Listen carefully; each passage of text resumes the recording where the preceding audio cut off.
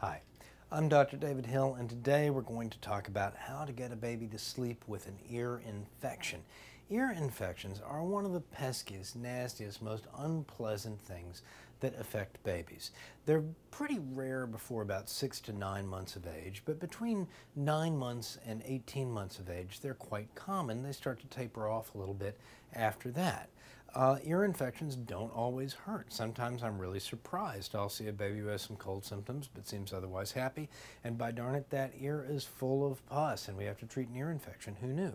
Sometimes babies are very fussy. They're grabbing at their ears. I look in there at the eardrum, and everything's totally fine. Whatever's bothering them is not an ear infection.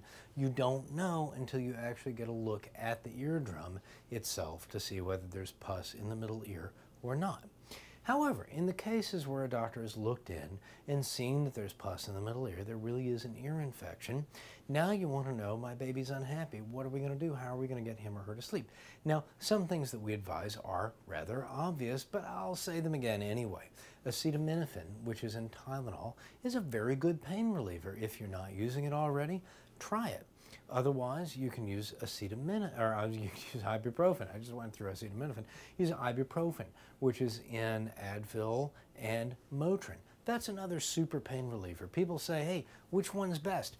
I don't know. Try it on your baby. They're probably about equivalent, but some people report a better response to one than to the other.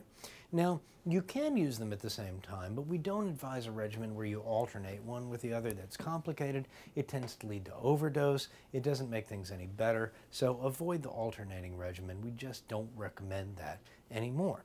What else can we do? Well, your doctor can prescribe drops that are pain relieving drops. They have antipyrine and benzocaine in them. You may see them labeled as A/B Otic drops or Auralgan brand drops. And what they do is numb up the eardrum itself. When you get an ear infection, the eardrum is stretched out. It's inflamed. It hurts. There's pressure back there.